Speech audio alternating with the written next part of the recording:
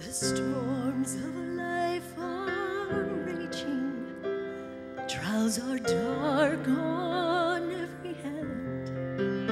Oh, but the time is growing nearer.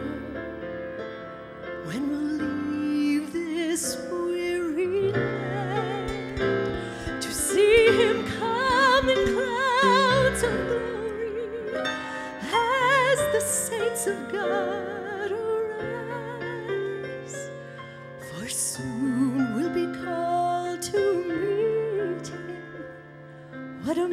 matchless, glorious sight!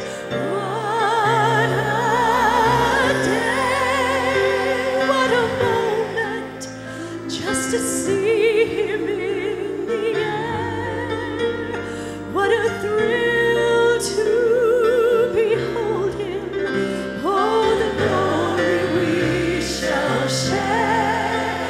And just to live His presence and humbly bow down at His feet.